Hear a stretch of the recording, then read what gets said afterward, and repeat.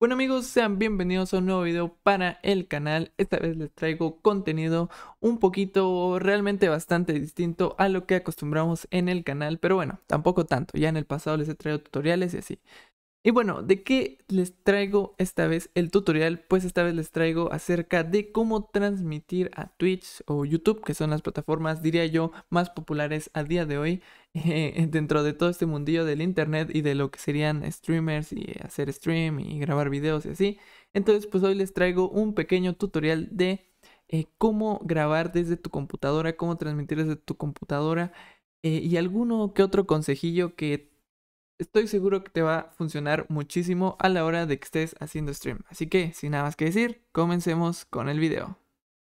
Hacer streams es más sencillo de lo que parece. Realmente necesitas un par de herramientas, una computadora, un programa de grabación de pantalla y de emisión de directo, obviamente, emisión de vivo.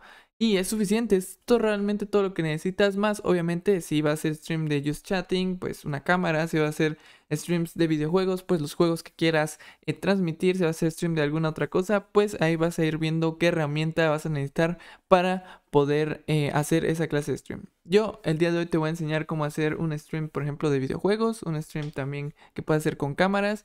Y cómo transmitir esta información a las diferentes plataformas. Así que bueno. Primero que nada, pues vas a necesitar, como te digo, aparte de la computadora, vas a necesitar un programa de captura de pantalla, captura de video y emisión de directo. Primero que nada tenemos estos dos que son los que yo te recomiendo. Yo sé que hay más, incluso hay otros eh, como creo que el gato tiene uno, uno de transmisión también que es muy bueno, pero yo en lo personal si estás iniciando en esto te recomiendo estos dos, sobre todo el Streamlabs OBS, porque el Streamlabs OBS es muchísimo más sencillo que el OBS Studio. Claro, es más sencillo, pero eso no implica que sea mejor. ¿Por qué? Aquí viene su desventaja del Streamlabs OBS a comparación del OBS Studio. El Streamlabs OBS te va a consumir muchísima más capacidad de tu PC, muchísimos más recursos, más RAM, más procesador, eh, más este, gráfica e incluso es más pesado que el OBS Studio. Ventaja que tiene que es muy sencillo de usar. OBS Studio, más sencillo de usar, más difícil de usar, disculpen, y eh, tremendamente sencillo de eh, pues ejecutar en tu computadora. Realmente este no te consume casi nada de eh, recursos de tu PC y bien configurado muchísimo menos. Este lo mejor configurado de todas maneras sigue consumiendo más, así que esa es su desventaja. Ahora, ¿cómo encuentro o dónde encuentro estos dos pues, programas? Primero que nada es bastante sencillo. Nada más miren, aquí, ¡pum! Buscas en internet Streamlabs o Streamlabs únicamente en la primera página que te salga y listo. Le das aquí, descargar y totalmente gratuito. Ambos son gratuitos, eso no lo mencioné. Y listo, tendrías el Streamlabs OBS. Ahora, quiero el OBS Studio, pues nada más únicamente igual buscas OBS y te va a aparecer Download y listo. Eliges tu sistema operativo y adelante, puedes ocuparlo sin ninguna clase de problema. Ya que los tienes descargados, te van a aparecer un par de archivos como estos. Sería el, el de Streamlabs OBS y el de OBS Studio. Le picas, le das clic y listo. Únicamente sigue los pasos. Te va a aparecer ahí de que si gustas em, que haga eh, que tal programa haga cambios dentro de tu disco duro, le das a que sí, instalar, sigue los pasos y listo, lo tendrías. Te van a aparecer eh, de esta manera, como lo estás viendo actualmente en pantalla. Bastante sencillo, ¿no? Como te decía, descargarlos es bastante sencillo y es gratis.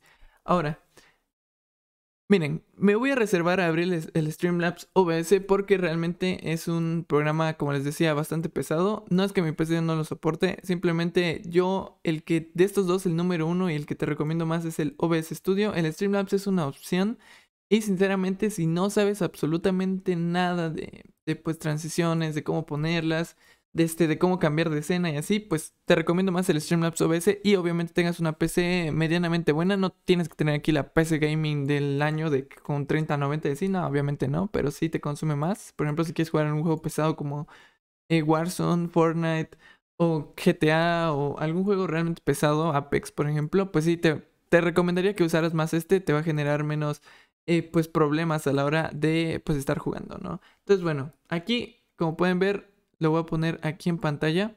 Y este es el Streamlabs. El Stream, bueno, perdón, el OBS Studio. Que como pueden ver es una cosa bastante sencilla. Por ejemplo, aquí tienes tus escenas. Que bueno, puedes aquí crear escenas. Por ejemplo, creas una escena. te aparece aquí el nombre de la escena, le das a aceptar, por ejemplo, y tienes una nueva escena. Ahorita está grabando en negro porque la escena lo único que tiene es audio, no tiene video. Ahora, obviamente, voy a cambiar de escena y como pudieron ver, cliqué, perdón, de escena 2 a PC y listo.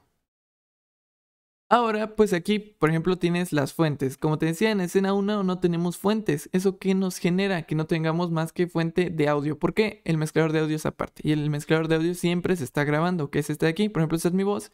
Este es el audio del escritorio, que si pusiera música en el escritorio, si abriera un juego, aquí se abre. Eh, luego tenemos el micro auxiliar, que este lo tengo porque tengo una capturadora para un Xbox, que ahí está la otra. Si quieres transmitir desde un Xbox también se puede porque la mayoría de capturadoras están diseñadas para este programa. Para el Streamlabs también, pero eh, es muchísimo más sencillo, diría yo, conectar una capturadora de video al OBS Studio que al Streamlabs, a pesar de que el Streamlabs es eh, más sencillo de usar, entre comillas, obviamente. Ahora, ¿Qué más? Aquí pues vas a tener tú que hacer todas tus fuentes. Por ejemplo, que si quieres una captura de pantalla, la captura de juego, voy a hacerlo esto más grande. Eh, disculpen el efecto espejo, es que pues, el efecto espejo siempre se da en estos tipos de programas de captura de pantalla. Entonces pues aquí vas a tener que poner tu captura de pantalla, por ejemplo tu captura de juego, tu capturadora, que es lo que les decía la capturadora, por ejemplo es para la cámara, que por ejemplo aquí se puede observar que aquí arribita está la cámara. Luego tenemos, por ejemplo, un marco para la cámara. Igual tenemos eh, las alertas, por ejemplo, que estas también, si quieren un video de cómo hacer alertas, cómo hacer, este, ponerle distintas cosas aquí a lo que sería para tus streams, por ejemplo, pues adelante, déjamelo en los comentarios y con mucho gusto lo haré. Tienes también aquí, por ejemplo, otra opción que es para vistas y el chat, ¿no? Que el chat lo tengo aquí abajo.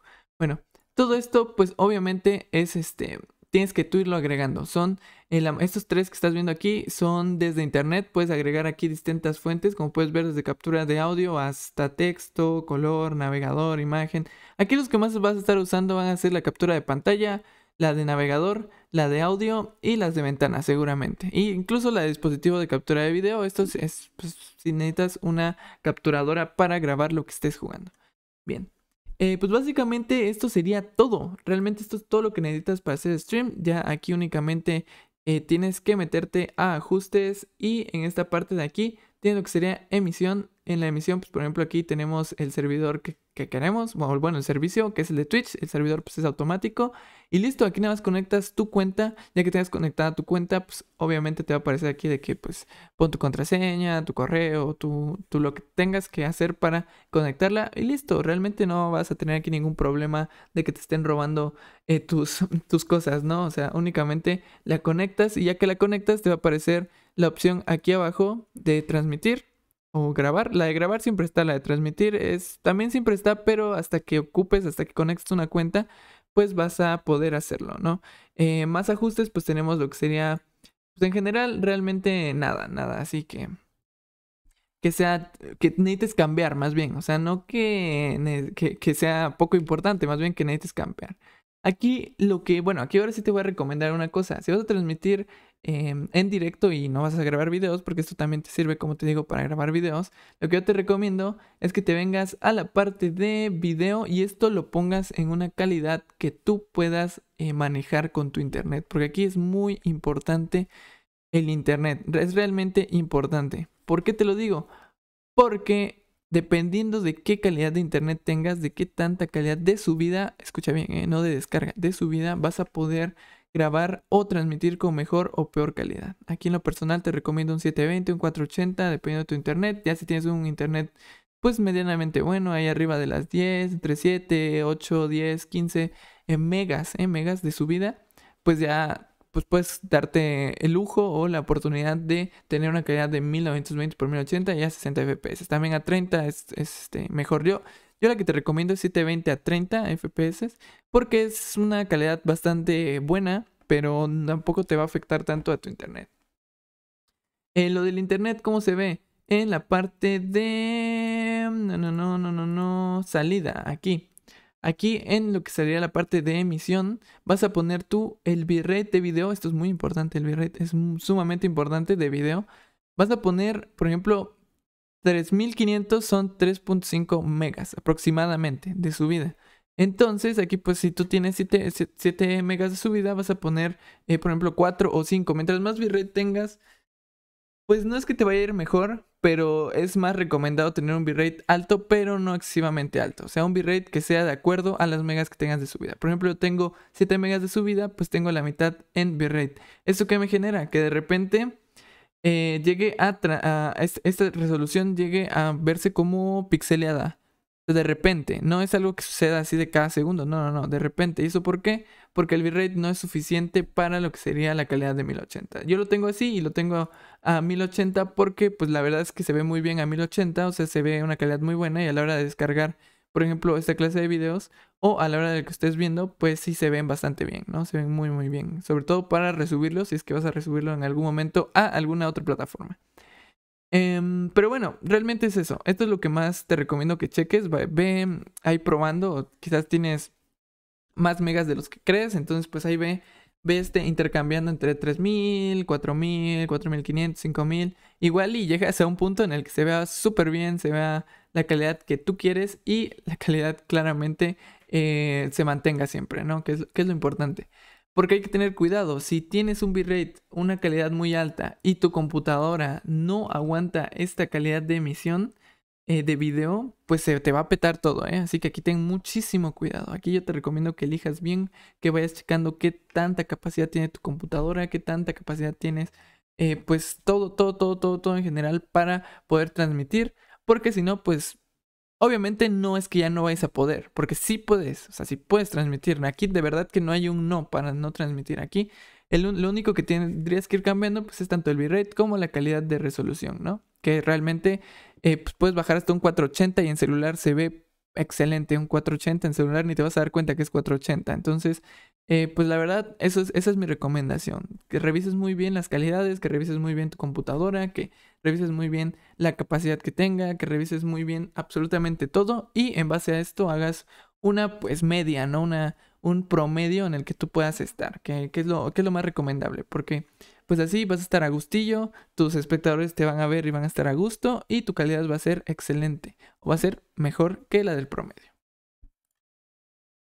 Bien, pues una vez dicho esto, pues yo creo que sería realmente todo lo del video, realmente no necesitas más que eso, necesitas una cuenta de Twitch, una cuenta en YouTube, necesitas un programa de transmisión que, bueno, yo te estoy recomendando estos dos y necesitas checar qué tanta capacidad tiene tu internet, qué tanta capacidad tiene tu, eh, pues tu computadora para poder transmitir alguna, cualquier clase de videojuego, ¿eh? no, no solo uno. Cada videojuego necesita una configuración distinta, cada videojuego consume diferente, así que debes tenerlo muy en cuenta, sobre todo si va a hacer eso. Si, si necesitas nada más únicamente tu cámara, si va a hacer un just chatting, realmente no necesitas tanto, tanto estar pensándolo, porque realmente una cámara no consume tanto o no se va a ver em, eh, limitada a tanto como un videojuego, como tener tu cámara y un videojuego. Ahí sí ten muchísimo cuidado, que yo creo que es lo más peligroso que tenemos o que tienen eh, los streamers que se les pete, ¿no? Sobre todo los que van iniciando. Amigos, pues ya, si tienen em, alguna duda, pueden contactarme vía Instagram, ya saben, los dejo en la descripción. Incluso les dejo también mi Discord oficial del canal en la descripción. Si tienen alguna duda, pueden contactarme sin ninguna clase de problema. Yo no cobro. Yo contesto 24/7 o bueno, lo intento. Así que pues adelante, si tienen cualquier duda pueden contactarme. Em, y nada, espero les haya gustado el video, espero les sirva, espero les sea de utilidad, sobre todo aquellos que quieren entrar a este mundillo que realmente es algo bastante complejo, es algo bastante complicado. En cuanto, en cuanto entras te darás cuenta por qué lo digo. No tanto por la dificultad para transmitir, sino más bien por la dificultad para ganar espectadores. Así que pues nada, nos vemos, nos vemos en un próximo video. Un saludito y adiós.